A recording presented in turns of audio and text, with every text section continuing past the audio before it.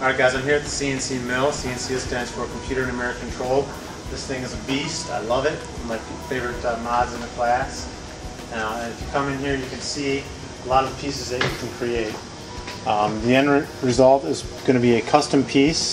Got the ESPN, the Albies, Michigan State S, uh, Block S over there that, uh, that you can create. And we have all different kinds of materials that you can use.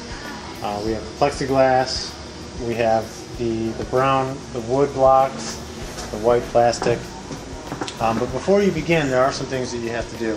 There's a slideshow and a worksheet, some terminology that you're going to need to know as you use these machines, and perhaps if you go into that career in the future. The very first machine I'm going to put you on is the lathe. This is a manual on how this thing works.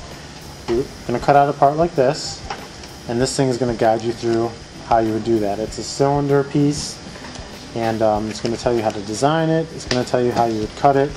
There's a great picture. It's got the red cut lines in it right there.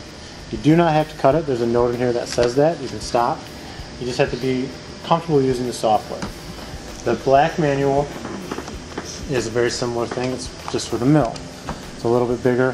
Very similar setup. You have a CAD file you create, a design, and then you have a CAM file. I'll get you a good picture of that. Or again, you have the red cut lines. How do you how do you write the code that decides how to cut that? Again, you don't have to. It's a very simple part. If you don't want it, you don't have to. Uh, what I do want you to do is have time to cut a custom part. So there's three people on CNC at one time. There's four computers, and I like to have a student aide to assist back here. We try to leave this computer open because this is the one that can run the mill. This is the one that'll cut. So we'll do all our design work on the side bank. When you come over here, we have the WinCam program that's the actual program that runs the mill. AutoCAD, which we have on all four computers back here, is a great design program and it can talk to WinCam.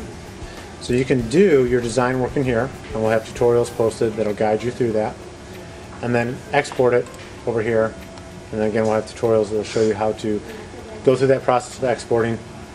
You should be familiar with writing the code. We'll have other videos on that as well um, and then doing the final setup for the cut. Before you cut, before you cut, you always have to make sure I, uh, basically it's called touching off the part so you don't break any of the bits. So if you're interested in this, you want to create some cool custom parts, uh, you want to design something and actually see it made, CNC is a great mod.